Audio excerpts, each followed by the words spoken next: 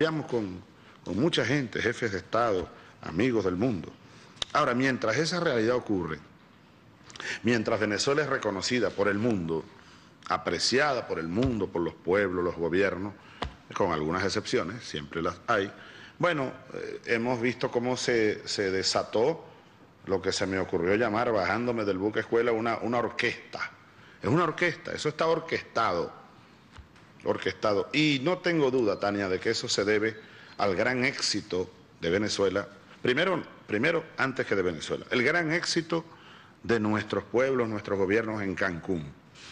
En Cancún acordamos, bueno, como se sabe, como es bien sabido, crear la comunidad de estados de América Latina y del Caribe. Eso es por primera vez en la historia que ocurre. Una organización sin Estados Unidos y Canadá que agrupe a todos los países de nuestro continente latinoamericano, caribeño.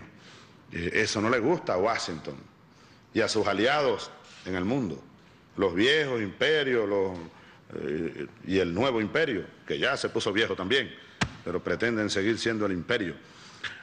Y no solo no les gusta eso, Tania, sino que mucho menos les gusta que se haya decidido que la cumbre donde van a ser, porque se decidió crear la comunidad, Héctor, pero no ha nacido un documento, un tratado, una estructura eh, de arranque, un plan de arranque, bueno, va a ser en Caracas.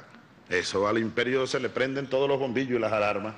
En Caracas, entonces van a tratar, y ahí comenzaron pronto, de sabotear no solo eh, la constitución de ese nuevo cuerpo, que es el proyecto originario de Bolívar y de San Martín y de Artigas y de todos nosotros, sus hijos y sus hijas, sino que van a tratar de, sabotear la reunión de Caracas.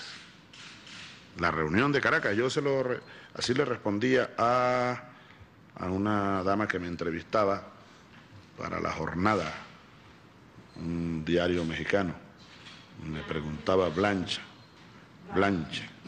Sí, yo estuve leyendo la entrevista.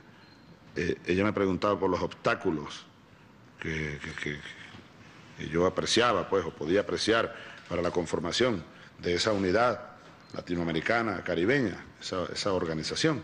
Y de inmediato, sin duda, el imperio yanqui, pues.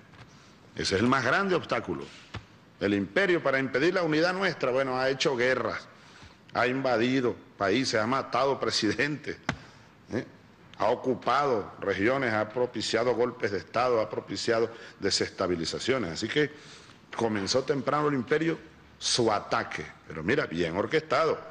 Por allá por la OEA en Nueva York, por allá por España, la audiencia de España, que huele o suena como la Real Audiencia, eh, por allá por Washington, el gobierno de Obama, eh, agrediendo y al mismo tiempo la Secretaría de Estado, bueno, en una gira, una gira por América Latina, Uruguay, a última hora decidió ir por Buenos Aires, creo que va a pasar por Chile, después por algunos países centroamericanos, en fin, es una ofensiva y, esos ataques contra nosotros, bueno, van a ser, eh, como dice Eva Gollinger en uno de sus libros recientes, la agresión permanente y sobre todo cuando se dan cuenta menos que avanza el proyecto revolucionario hacia adentro y que avanza eh, la política exterior que nosotros siempre hemos estado perfilando de integración, de acercamiento y de unidad latinoamericana. Pero es la batalla, es la batalla. Recordaba, me recordaba eh, Teresita Maniglia por allá, en Montevideo, aquello que dicen que dijo el Quijote, ladran los perros, luego nosotros estamos cabalgando. Bueno, mira, vamos a hacer el pase, eh, vamos a hacer el pase.